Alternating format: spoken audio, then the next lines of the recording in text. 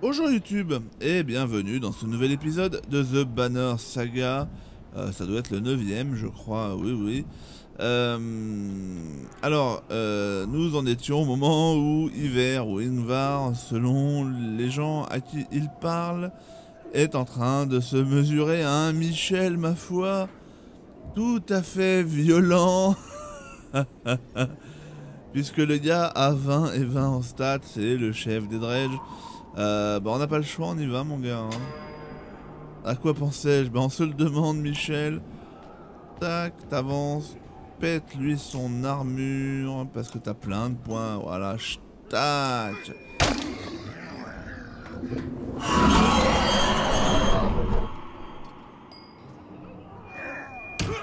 Ah oui, ça fait mal ça Michel, merci. Bah on te repète ton armure alors.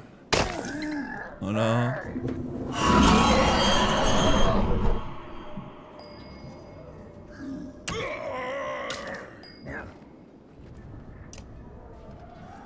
Euh, bah oui, bah on va te péter toute ton armure alors parce que c'est rigolo, mais voilà, on peut pas gagner le combat, hein, que ce soit bien clair. Euh, voilà, il a pris cher.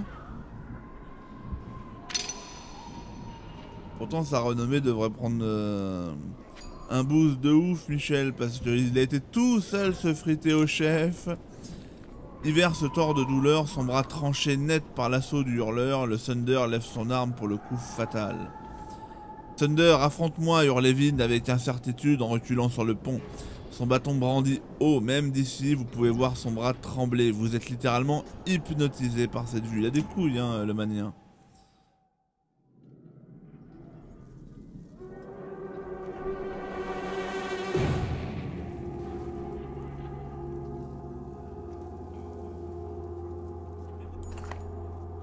Evin recule de terreur face au gigantesque serpent qui apparaît au loin et même Hurleur recule.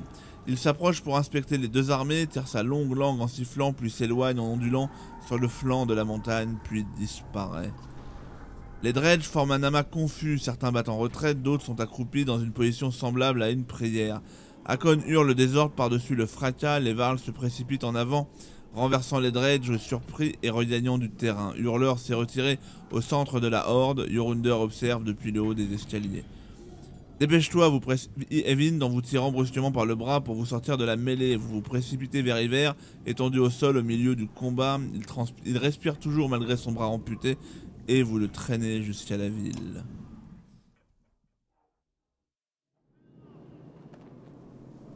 Alors, on va aller parler à Evin.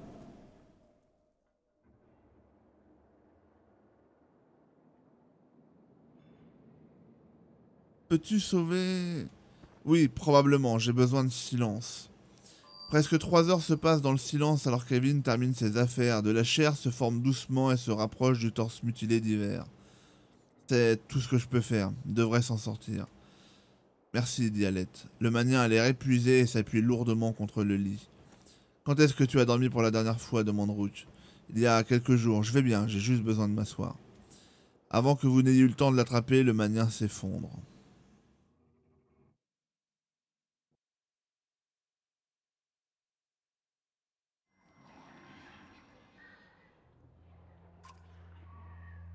Exémique, Michel Votre vue se trouble comme si vous étiez sous l'eau, vos souvenirs s'envolent comme une nuée d'oiseaux avant que vous n'ayez pu les attraper.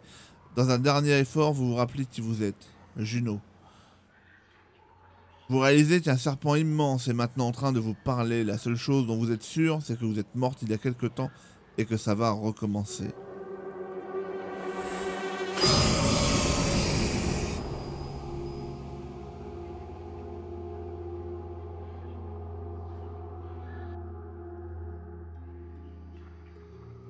Que c'est insatisfaisant, dit le serpent.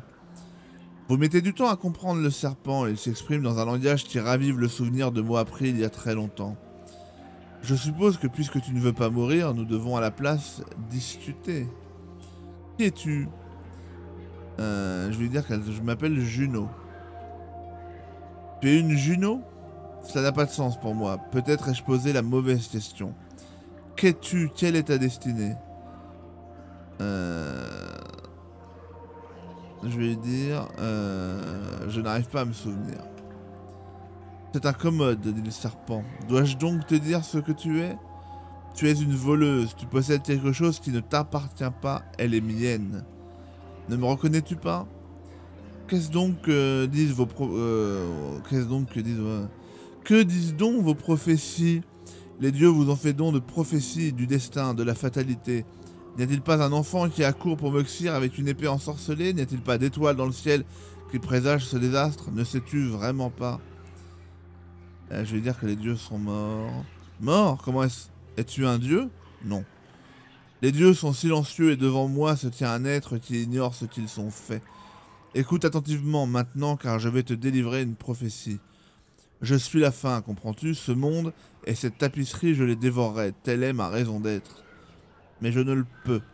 À sa place, un mur de ténèbres apparaît maintenant pour dévorer votre misérable monde. Un mur de ténèbres Les dredges Les dredges Des hommes de pierre qui marchent sur un long pont Non, ce sont les ténèbres. Le blanc d'œuf a noirci.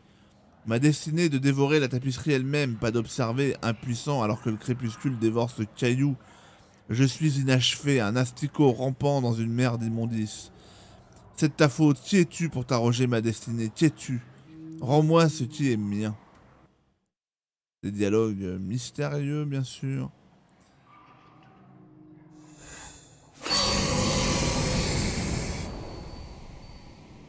Evind, dit Juno. Juno, tu es vivante?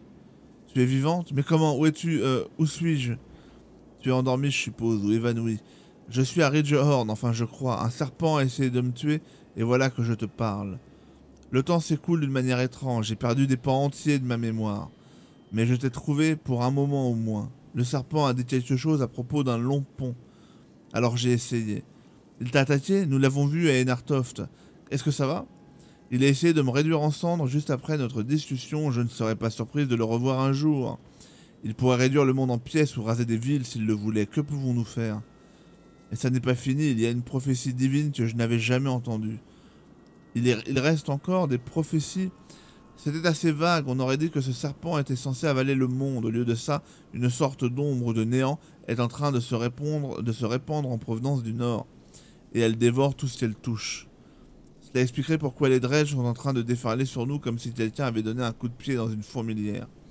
Evin, est-ce que tu es en danger? On peut dire ça, Hurleur est ici.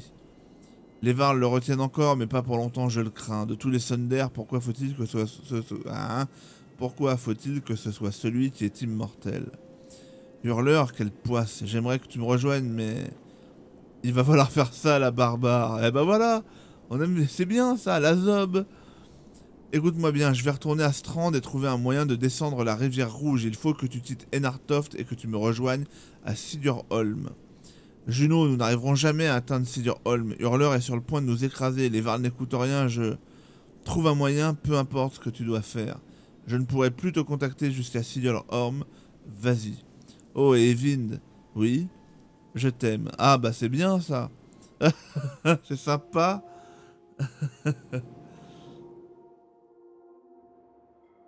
tu as passé beaucoup de temps à son chevet depuis qu'il a perdu connaissance. Je garde un œil sur lui, ça, ce n'est pas ce que tu penses. Il a sauvé Hiver, peut-être même qu'il nous sauvera tous. Est-ce qu'il nous entend? Il a bougé. Combien de temps est-ce que tu es resté inconscient? Plusieurs jours Comment te sens-tu? Ben, J'espère que ça aura soigné mes mecs. Juno, elle est en vie, il faut que je la, rejoigne à Sidurholm. Oula, attends, qui est Juno? C'est mon maître, au conseil des maniens, elle m'a contacté. Elle t'a contacté comment? Elle n'est pas comme les autres maniens. Qu'est-ce qui s'est passé depuis que j'ai perdu connaissance? Les Varls retiennent les dredges, mais à peine. Hurleur a disparu, Hiver est toujours inconscient. Yorunder a envoyé Ludin avec Akon à quelques, et quelques centaines de Varls à Arberang. Je ne sais pas combien de temps nous allons réussir à tenir. Rogue, j'ai besoin de ton aide. Amène-moi à Sidurholm. Juno va nous retrouver là-bas. Sidurholm, c'est au moins une semaine d'ici nous sommes censés abandonner Nartoft comme ça? Peut-être ou non, je pourrais détruire ce satané pont moi-même ça les ralentirait un peu, mais Yorundir n'acceptera jamais. J'ai besoin de comprendre certaines choses, Evind. Euh... Pourquoi le roi d'Evarl ne veut pas détruire le pont? Je ne le comprends pas moi-même. La dernière fois que j'en ai parlé, il a été très clair. Il laissera cette ville et le monde entier se faire réduire en cendres avant de toucher à ce putain de pont. Euh... Comment pourrais-tu faire tomber le pont seul?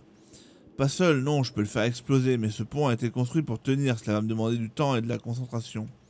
C'est pour ça que j'ai besoin de ton aide. Et les Varls essaieront de m'en empêcher, peut-être devras-tu retenir à la fois des Dredge et des Varls. Qu'est-ce qu'on fait pour Hurleur? Je ne peux pas l'arrêter, mais je crois que Juno, oui, c'est pour ça qu'il faut que nous la rejoignions. Nous, pourrons, nous pourrions simplement partir d'ici et laisser les Varls mourir pour que l'on puisse prendre de l'avance. Ce n'est pas de détecteur, j'ai fait tout ce que je pouvais faire seul. Vous réfléchissez à ce que vous allez faire. Qu'est-ce qui se passe ici? Quel serpent et hurleur. Écoute, je sais que les choses sont un peu... C'est compliqué. Est-ce que vous connaissez bien l'histoire? Nous venons d'une toute petite ville au milieu des bois. Je ferai vite. Vous savez comment les hommes et les varles ont été créés, la mer tisseuse, les autres dieux. Lors de la première grande guerre, les humains et les varles se haïssaient, ils se sont battus âprement pour la terre et le pouvoir. Alors, un des dieux créa les Dredge, et ils étaient si terribles qu'à moins de mettre leur haine de côté et de s'allier, hommes comme Varl étaient menacés d'extinction. Alors ils ont accepté, ils ont mis fin à la guerre, repoussé les Dredge vers le nord et formé une alliance qui dure depuis ce temps-là. La seconde grande guerre a commencé quelques générations plus tard. Les Dredge ont rassemblé leurs forces, massacré les Varls qui surveillaient la frontière réduit en miettes des colonies humaines dans le monde entier. Ils étaient commandés par des Sundair, des puissants seigneurs de guerre et tisseurs Dredge. Hurleur en est un, il était déjà là lors de la seconde grande guerre. L'humanité était au bord de l'extinction lorsque les plus puissants des maniens sont intervenus et ont finalement réussi à battre les Dredge qui ont alors disparu. Depuis, les Dredge n'ont jamais vraiment tenté de revenir, enfin jusqu'à maintenant. Ces maniens sont appelés des Valka. Juno n'y était pas elle-même, mais elle descend de cette lignée. Une autre grande guerre a donc commencé. Si ce n'était pas la fin du monde, ce serait absolument incroyable. L'histoire antique se rejoue sous nos yeux. Et le serpent Ça, c'est une autre histoire. Il n'y a rien à propos de cette chose dans la bibliothèque des maniens. Cela doit avoir un rapport avec le retour des Dredge. C'est fort probable. Euh, j'ai besoin de temps pour réfléchir à tout ça. Je comprends, dépêche-toi, Rook. Il doit bien y avoir un moyen de... J'arrive pas à croire qu'un Varl puisse être aussi borné. Pas à Yurundur toi-même, il est dans la grande salle. Peut-être que tu seras chanceuse. Ou peut-être que ta tête finira au bout d'une pique. Rook, je suis désolé de te demander une chose pareille, mais je n'ai que, que très peu d'amis ici Décide-toi vite. Quoi qu'il arrive, nous ne pouvons pas rester. Il faut que nous allions à Sidurholm. Juno saura quoi faire.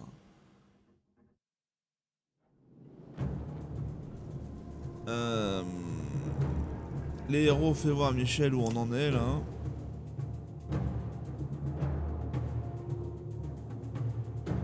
On va se reposer.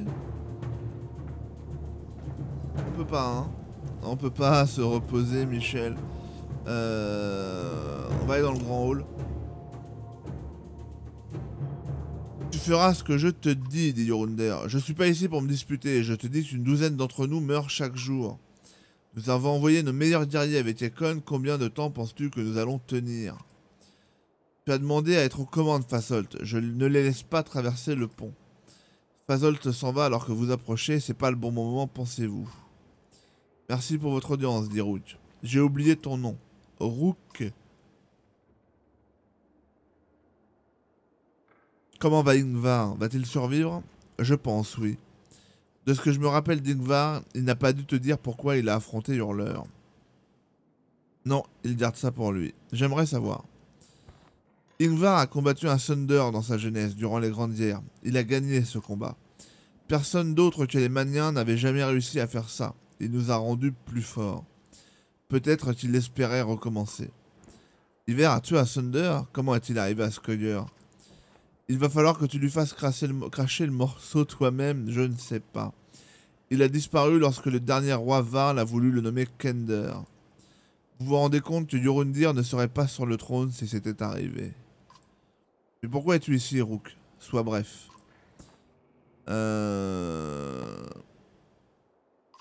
Je te propose de détruire ce pont. Humain, si tu mentionnes encore une fois ce nom, l'humeur de Yorundir change instantanément. Si tu n'as rien d'autre à dire, tu ferais mieux de sortir de ma salle.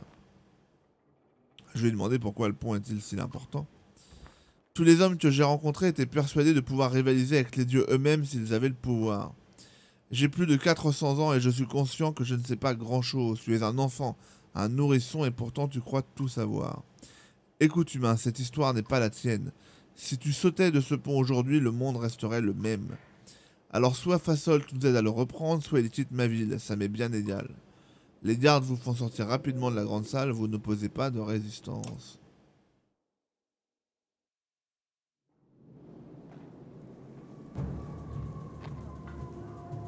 On va aller voir le... Ah, on peut choisir, de, combattre sur le pont ou de détruire le pont. Euh, Qu'est-ce qu'on va faire Bah, techniquement, euh, on va détruire le pont, Michel. Hein. Bien sûr. Evin hoche la tête lorsque vous lui annoncez que vous allez l'aider à détruire le pont. Il vous rappelle le plan, vous devez le faire accéder au pont, puis lui donner le temps de frapper jusqu'à ce que celui-ci s'effondre, repousser tous ceux qui voudraient l'arrêter, Dredge comme Varl. Vous êtes prêts demande-t-il euh, Nous sommes prêts, évidemment. Vous suivez Evin jusqu'au pont où les Varls sont alignés en attendant de se joindre à la bataille. Il vous laisse volontiers vous joindre au groupe suivant, curieux de voir le manien se battre. Lorsque tu en auras tué quelques-uns, je commencerai. Chuchote Evin. Eh ben, on va bien s'amuser, Michel. Avec une équipe au pif comme ça, là là. Euh, putain de merde. Ah là, on va pas prendre deux archers. Si, on va être obligé de prendre deux archers. Oh là là, la galère.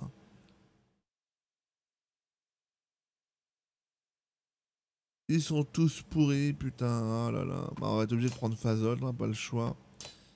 Oh là là. On va être obligé de faire ça avec une équipe de bras cassés, Michel. Putain. Oh là là.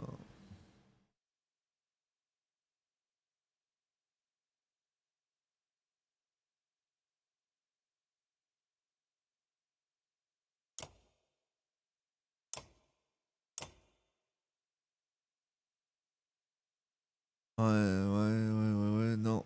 On va lui mettre... Euh, ouais, ça c'est bien. Euh, on pourrait faire passer un niveau à des mecs, mais... Euh, mais non. On va mettre ça à Micheline, là. toi, on va te virer ça. Et on va te mettre ça. Et elle, là...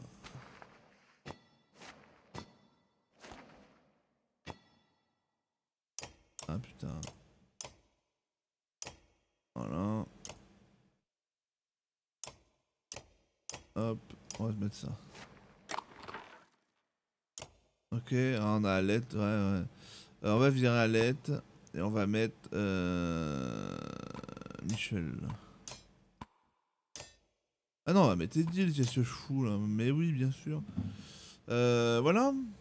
Oui, oui, ça ira. Et du coup, Edil, il peut mettre quoi euh, On va te donner euh, ça. Oui, voilà. Hop.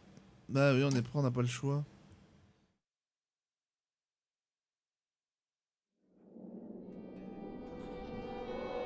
Vache. Vous êtes beaucoup, les mecs. Putain, le bâtard, lui, lol. Euh...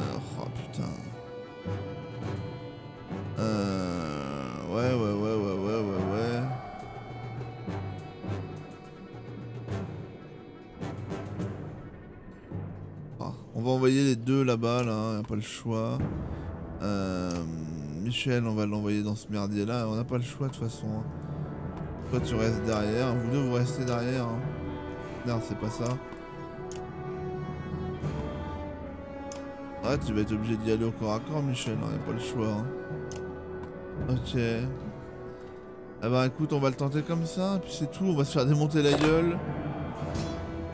Alors, Rook peut commencer. Euh, pourrait commencer par ce charmant jeune homme là.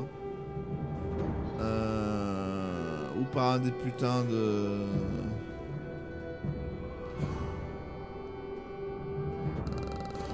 Non, tu vas aller t'attaquer à celui-là là. Putain, ça fait 3 de...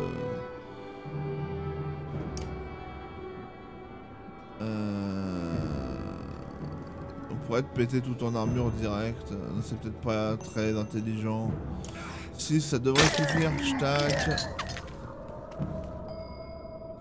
Euh, toi, Michel, tu vas directement sur ce gars-là. Et voilà.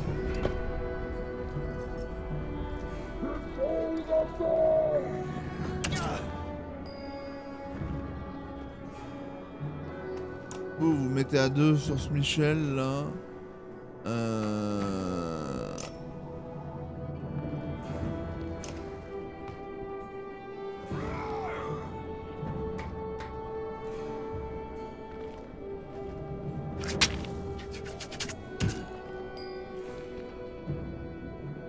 Et tu... Ouais non c'était pas très intelligent mais. C'est pas grave, on teste des trucs. Il va se faire fumer très vite. Ah là là.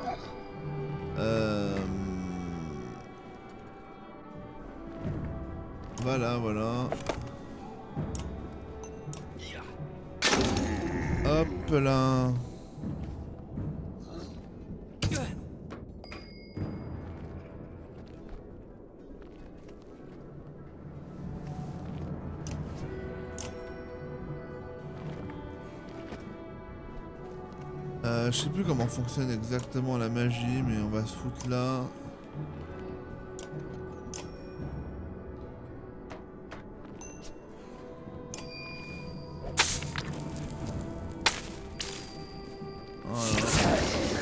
Hop là. Pas mal ça, non? Euh, Toi, tu vas te mettre là. Hop.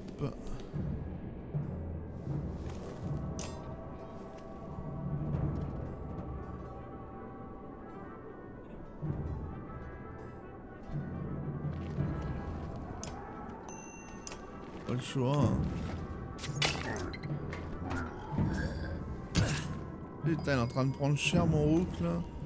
Euh...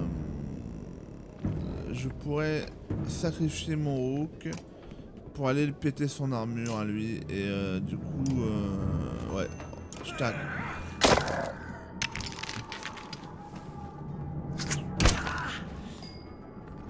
Du coup, il va lui faire bobo. Voilà. Et une fois que le gros sera mort, les autres seront une formalité. Oui, on a sacrifié Rook, on le sait, mais... Tac.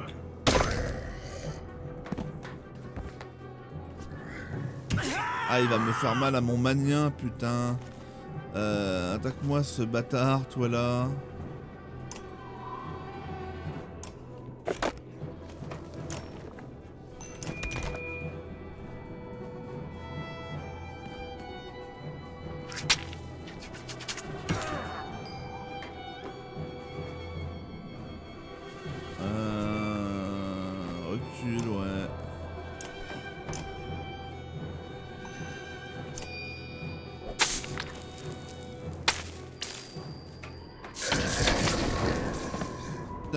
Mon pote avec. C'est pas de chance, ça, Michel.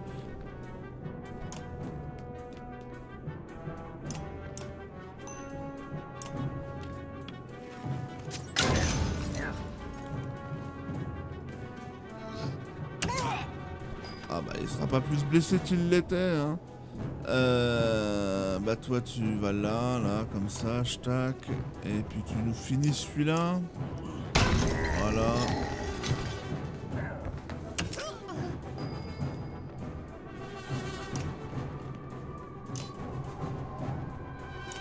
Pète son armure.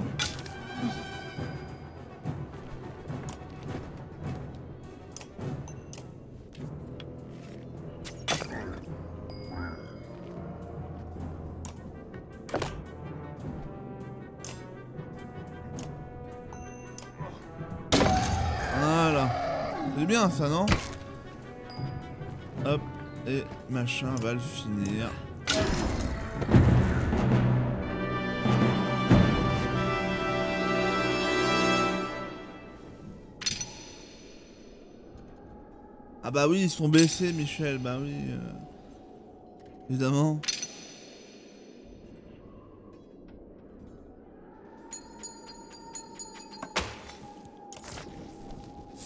Lorsque le combat ralentit un peu, Evin commence à faire tomber la foudre sur un pilier du pont un peu plus loin. Les dredges, confus, s'éloignent de cet endroit, puis les Varls remarquent ce qui se passe.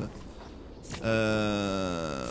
Qu'est-ce que vous faites sur le Plusieurs d'autres Varls le rejoignent. Evin est concentré sur sa tâche. Un autre éclair heurte le pont et envoie des gravats dans l'air. Stop Fasol en dégainant son arme. Les autres suivent son exemple, prêts à vous attaquer. On va défendre Evin parce qu'on n'a pas le choix. Restez près de moi, dites-vous aux autres en employant votre hache. À l'aide tremble si fort que vous le voyez même de loin. La voyez avec un cri, Fasol t'attaque évidemment. On est dans la merde. Euh, Acromer nous suit, d'accord. Euh, écoute, euh, bah on va prendre Alette, on n'a pas le choix. Euh, et puis on va prendre un des deux autres Michel. Celui-là, là. Voilà. Euh, Est-ce qu'on peut faire passer un niveau à des gens, notamment lui là? Euh, On aimerait bien lui. Hein. Euh, on en aimerait plutôt Alette en fait. On aimerait plutôt Alette, ouais. Parce qu'Alette on va devoir... Ouais, ouais, ouais, ouais. Et Alette, on va lui mettre un point de ça en plus et un point d'attaque en plus. Voilà. Va confirmer. Et puis voilà. Euh, du coup, maintenant, qu'est-ce qu'on peut mettre? Ah, l'autre s'est barré avec mon... Ah, putain, bâtard. Eh oui, c'est vrai, j'ai oublié ça. Oh là là. Oh, il s'est barré avec ma cour. Ah non, c'est Evintil là, tout va bien. Tout va bien, Michel. Ça, c'est niveau 5. Personne n'est niveau 5. Donc, on s'en fout. euh, du coup, non, on va donner plutôt ça à Alette, Michel. Euh, on peut la... On peut? Non, on peut pas. hein, Il faut 10. hein. Euh, tu vas me virer ça. Euh, tac. Et tu vas prendre ton truc. Voilà. Bon, bah allez, on tourne ça comme ça. Euh, on pourrait peut-être monter lui à niveau... Ouais. Ah.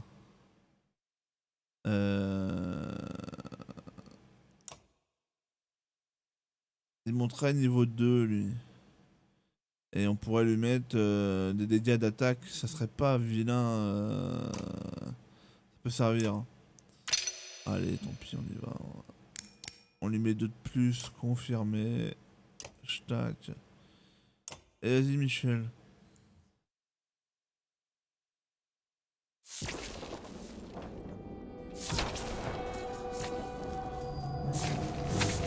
Euh, comment on va s'organiser Donc toi sûrement pas là, toi... Euh... Ouais, oh putain. Bah, vous deux, vous allez vous... Voilà, vous allez avoir la petite machine avec vous qui va vous aider à fumer celui-là. Nous, on va attaquer ceux-là, hein, voilà. Ah, ils sont 4, on devrait pouvoir euh, y arriver. Allez, on y va. Donc c'est Rook qui ouvre, euh, mais Rook va faire très très mal à Michel. Donc euh... Vas-y pète les touches, tac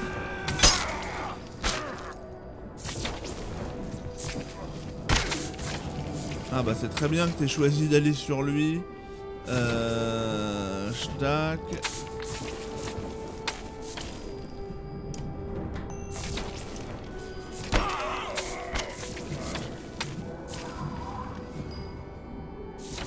Euh...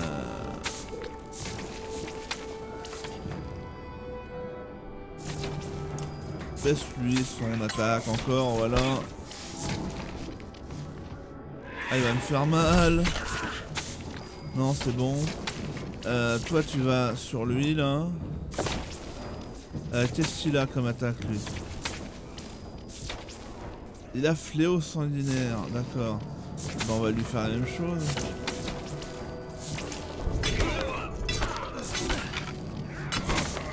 Voilà. Hop. Très bien. Euh, bah elle, elle peut le tuer. Donc elle va le tuer. Voilà. Micheline, elle peut attaquer lui là. Voilà.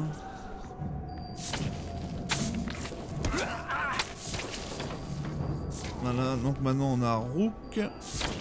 euh, qui va aller attaquer ce jeune homme là.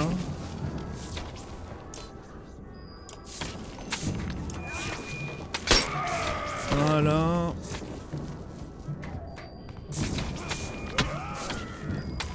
Ok.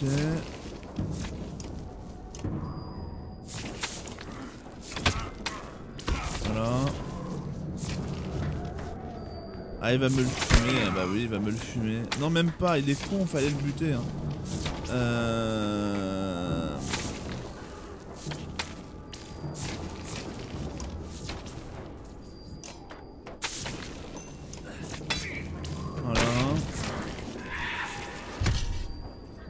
Très bien. Bah toi tu vas faire ça.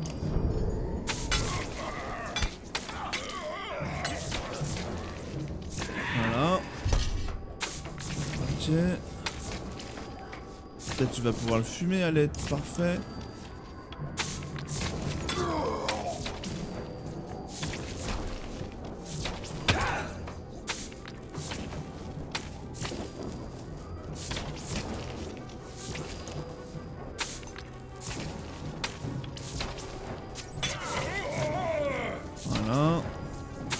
Va enfin me le buter lui. Depuis le temps. euh...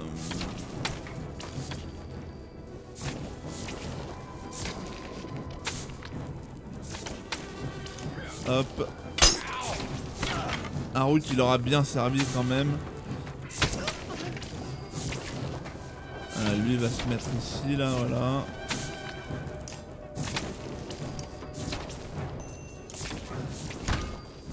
Voilà. Tac. Euh, Michel il va se mettre là. Et il va attaquer lui là. Faut baisser un peu sa force d'attaque. Très bien. Euh... Là d'ici elle peut attaquer personne.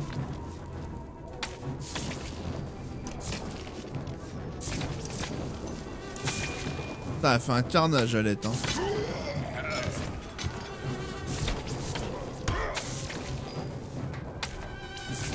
Euh, recule-toi.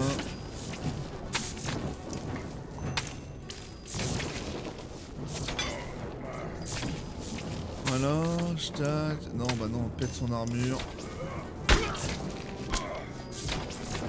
Voilà, Michel, est-ce que tu veux bien l'attaquer Le jeune garçon? Et je pense que c'est Alette encore qui va le finir. Putain, Alette, MVP.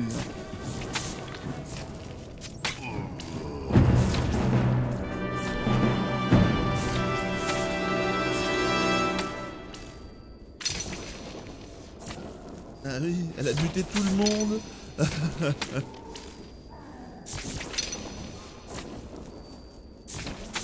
D'ailleurs oui, je me demande si c'est pas elle qui a buté les quatre.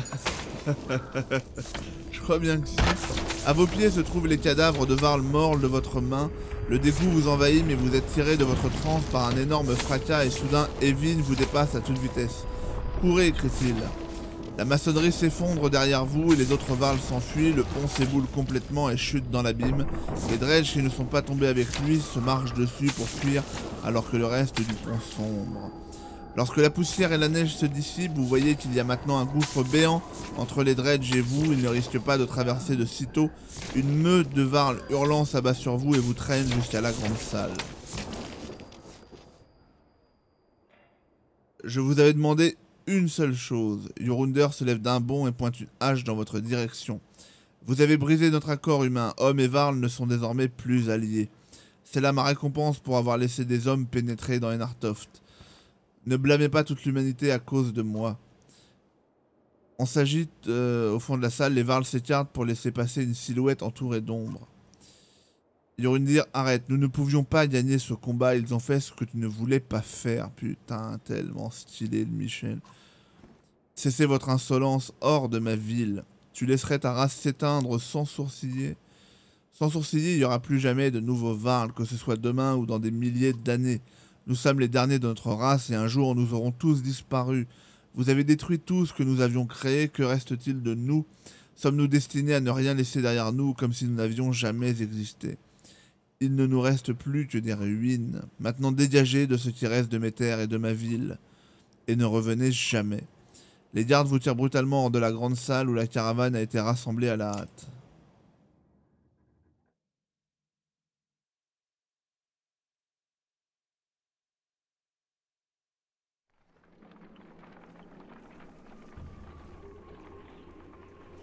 Eh ben, on est parti, Michel. Euh, on va faire un campement tout de suite pour... Euh, parce que tout le monde n'est pas dans un super bêta. Alors, euh, déjà, qu'est-ce qu'on va faire comme team déjà, Michel? On veut... Voilà, donc on va mettre hiver à la place de lui, là, stack. tu donnes ça à hiver. Non, ouais, voilà. Euh, plus 2 d'armure. Euh, bah, il est obligé de l'avoir, évidemment. Du coup, lui, il a plus rien, mais c'est pas grave. Euh, on va garder Dil, Mogun, on sait pas. Oui, parce qu'il est utile quand même, lui. Hein. Mine de rien. Et deux archers, c'est pas mal. Hein. Écoute, on va rester comme ça pour le moment. Non, on veut rajouter notre... Voilà, notre Michel. Donc on va mettre ça comme ça. Hein. Voilà. Euh... Ouais, ouais, on va foutre ça comme ça. Euh... Ouais. Ouais, ouais, ouais, ouais, ouais. Euh... Sachant que lui, ses stats sont... Voilà, on a 8 points disponibles et il faut tout refaire. Il est complètement fumé. Il est complètement fumé. 8 points de volonté.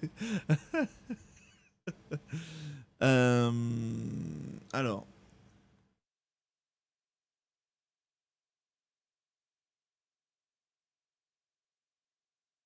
Il a tellement de... On va déjà monter, j'ai envie de dire... Euh,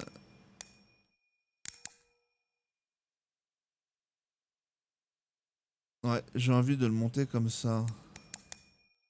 Parce qu'il a tellement de volonté, il peut faire... Voilà, il a 3 plus 3 à chaque fois. Euh, c'est assez violent.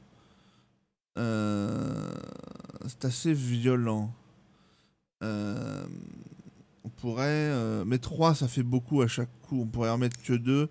Et du coup, on remet un point de destruction en plus.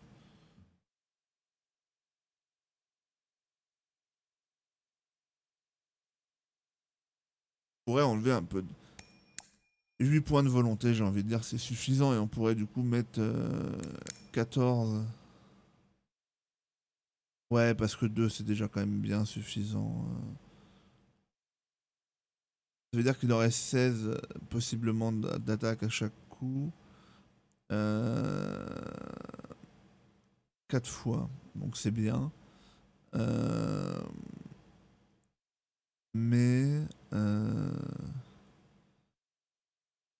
Oui, c'est mieux, c'est comme ça que c'est le mieux. C'est comme ça que c'est le mieux. Euh... On va faire comme ça. Ouais, on va faire comme ça, confirmé. Et voilà, bon, on a un hiver complètement fumé. Euh, avec euh, en plus son machin qui donne plus 3 évidemment. Euh, lui il rajoute 2 d'armure à tous les tours. Ouais, là c'est pas mal comme ça.